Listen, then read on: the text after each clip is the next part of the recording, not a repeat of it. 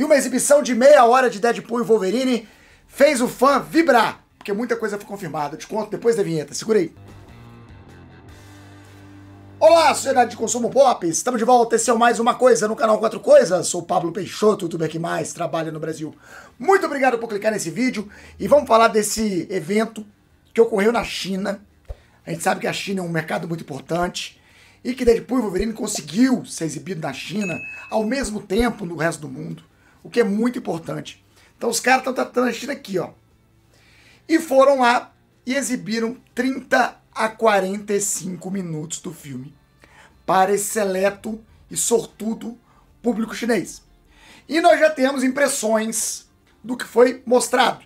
O que foi mostrado para essas pessoas que falaram em chinês, que foram traduzidos, que passou de boca em boca, e agora chega para gente aqui no Brasil em português.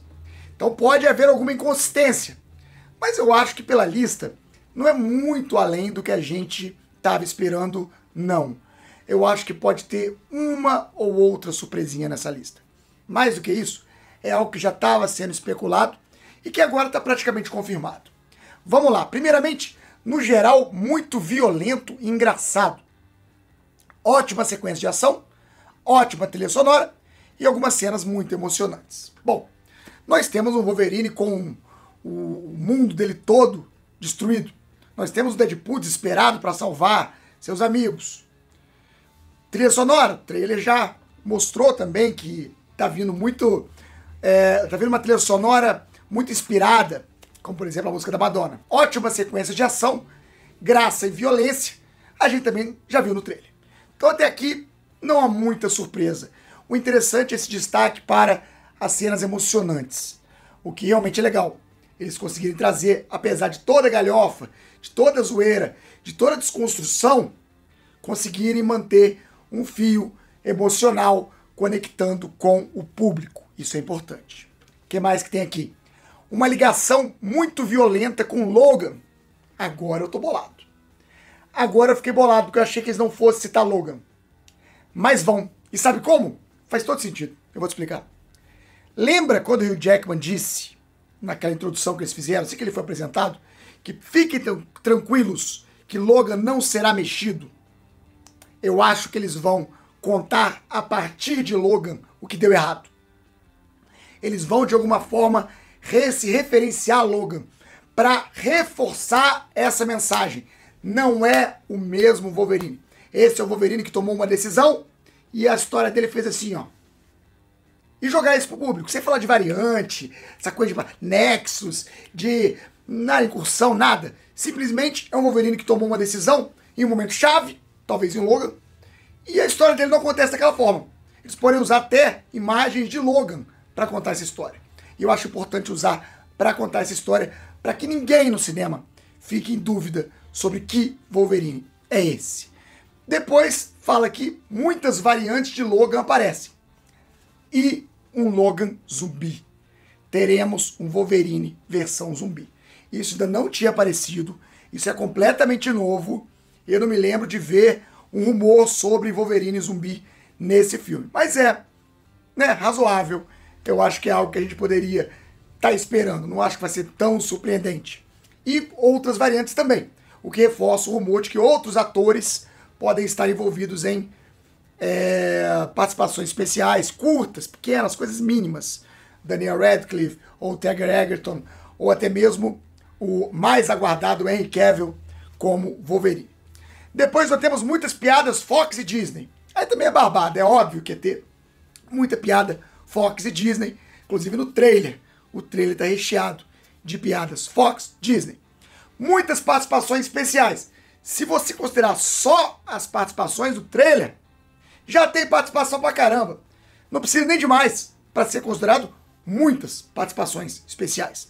Também não me surpreende. Mas por a gente ter meia hora de filme só, podemos sugerir que tem pelo menos mais uma hora onde podem ser colocadas muitas participações especiais.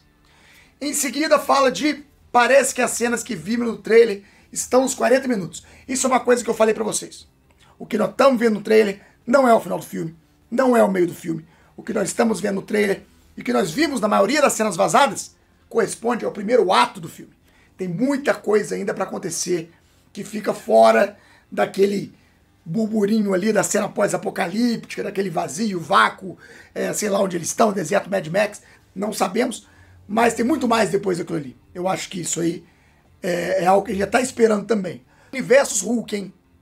Confirmando então Wolverine vs Hulk. Não espere um combate gigante, não espere o Hulk falando, não espere o Hulk interagindo, não espere que o Hulk tome parte do grupo apenas uma brincadeira com o Hulk lutando com o Wolverine em algum desses universos, com algum desses Wolverines é, variantes. Quem sabe até a teoria do Henry Cavill se confirma nessa aqui. Henry Cavill contra Mark Ruffalo. Lady Deadpool usava uma máscara, mas tinha voz parecida com a Blake Lively, que é a esposa do Ryan Reynolds e que está sendo especulado que a Blake Lively pode ser uma das candidatas, uma das possíveis Lady Deadpool no filme. Aqui eles confirmam a Lady Deadpool e falam que não dá para saber se é ela, mas a voz parece com ela. E atenção que My Time to Shine Hello, pela primeira vez na história, quebra um rumor. Diz que não. Que a Lady Deadpool não fala, ela aparece 5 segundos, ela não fala e não dá para saber se é a Blake Lively ou não. E finalmente, parece uma combinação de sentimentos de Avengers Endgame com o absurdo de Deadpool. É algo que eu também já estava esperando. Que fosse ser aquela coisa épica, aquela coisa da, da reunião de, de personagens, de é, muita coisa acontecendo ao mesmo tempo na tela, mas sem perder uh, o ar Deadpool, sem perder o estilo Deadpool, que é brincar, que é fazer zoeira, que é quebrar a quarta parede, que é não se levar a sério, que é parodiar, que é satirizar, que é ironizar, que é debochar do gênero super-herói em qualquer universo, em qualquer estúdio para qualquer fã. Então eu acho que essas, essa lista aqui, algumas coisas novas, Zumbi, por exemplo, Wolverine Zumbi não, não tinha visto ainda, e outras coisas também que já estão sendo mastigadas e já estão sendo trazidas, como Wolverine e Hulk, já há bastante tempo a gente estava falando, Lady Deadpool também, já tem quase certeza que aparece, e outras coisas que são óbvias, que estão até no trailer. Música, piada Fox, piada Disney, isso tudo aí não surpreende ninguém. O que, que você achou da lista? O que, que você mais quer ver nesse filme? Escreve aqui embaixo nos comentários. Daqui a pouco eu tô de volta com mais assunto da cultura pop depois da vinheta. Vou aparecer opções do canal para você clicar e ficar mais um pouquinho comigo. Até mais, até breve, até já. Tchau.